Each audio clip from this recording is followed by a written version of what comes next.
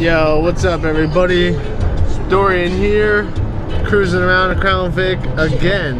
Another rainy day as you can see. Listening to some Cops theme song.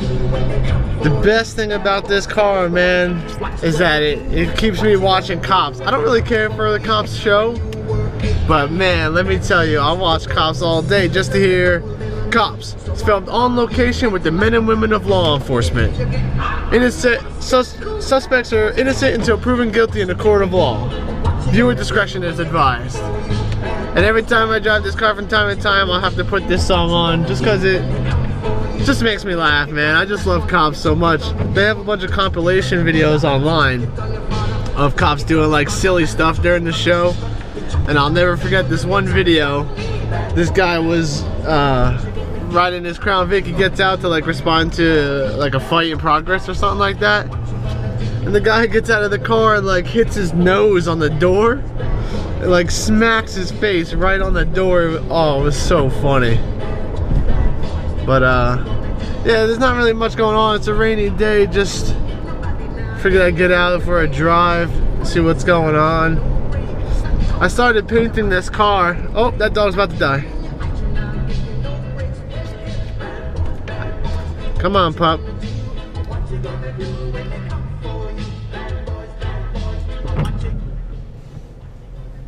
Yo, Perrier, you need to chill. He's coming towards me. Come here, pup.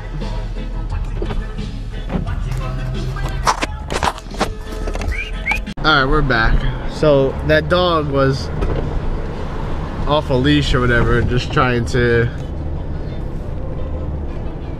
I don't know, get some fresh air or something, but the owner couldn't get a hold of it and all these cars were coming. I tried to open my window to get the dog to be able to come closer to my car or something like that, but they weren't having it.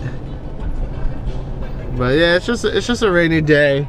I wanted to talk a little bit about the Crown Vic because the transmission, I got the transmission redone and like it's great now. The, the car drives great. I just have to put the springs back into the accumulator uh, the one and two accumulator pistons because it shifts really hard into first and second which is normal for the J mod I just I just don't care for it. Oh wow look at that sweet car.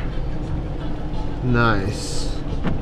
So yeah I bought the new upgraded springs so I just gotta put them in the car whenever uh, I go to get the oil flushed again the transmission fluid I mean.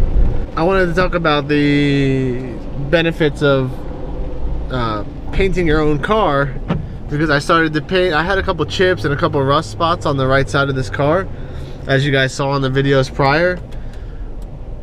So I watched a ChrisFix. Hey ChrisFix here. Check out this drift. Sick drift bro. So I, I, I looked on the ChrisFix video on how to fix rust and how to paint the car and stuff and mine I can't find the colorway for this car it's either the the code on the door said that it was a performance white so I bought performance white from AutoZone sprayed it. Yeah it's definitely not performance white so then I um, asked online and people were saying like some of their cars are Oxford white so I bought an Oxford white and guess what? It was also not an Oxford white so now I have like three different whites on my car with some primer I went to Maaco earlier today to kind of see like what it would cost to get it to, to be painted. And Maaco told me they charged me like uh, $150 a panel. I have it on front panel, the passenger door, driver door, and the rear quarter panel. So right there, 150 times four is 600 bucks. And uh, I have a little bit back here on the other quarter panel. The guy told me he charged me $700 to paint the whole car. So I gotta see what I'm gonna do. I'm gonna try and hit Perth Amboy uh, tomorrow or something like that, depending on the weather, and see if I could get it painted for either cheaper or see if I can get them to match the color and and set it up with something like that. But 700 bucks I thought was pretty cheap to paint the car.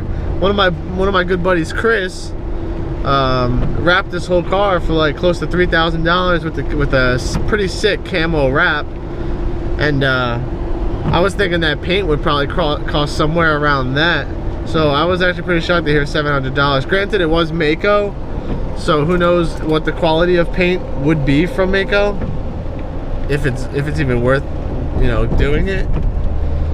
But yeah, I thought that was pretty. I thought that was a pretty cheap price. I'm sure I can get it for more, you know, for a better quality rather than them just spraying it.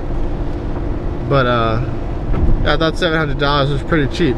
So the moral of the story, like I said, I was going to tell you about how to paint your car, but the moral of the story is if you don't know what you're doing, don't mess with it. Let the professionals do it. You know, I tried it out. I obviously have no idea what I'm doing, even though it seemed relatively simple and everything seemed to be working good. I just used the wrong colors and now I'm like kind of paying for it. So yeah, your best bet is to just let the professionals do it. This car is going so slow now. But uh, yeah, I just want to let you guys know if you're gonna start modifying the car on this rainy day or if you want to start painting it, just just know what you're doing because now I'm driving around a car with five different color whites and I like to keep this car as spick and span as, as I can and if you can tell I literally bring it to the car wash at least once a week even if it's like a raining day like this if the car wash is open and it's there in that week I like to bring it. So just you know keep your eyes out for things like that.